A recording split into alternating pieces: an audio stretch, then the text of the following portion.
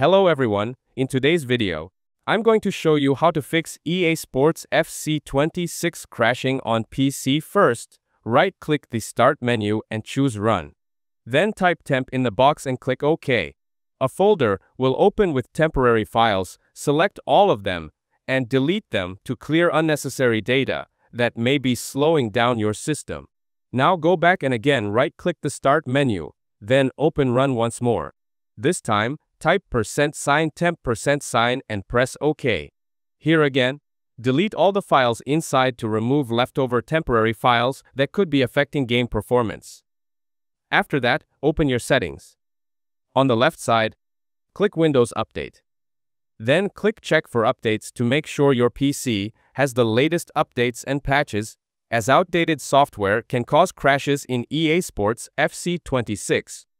Once all updates are installed, close everything and restart your computer.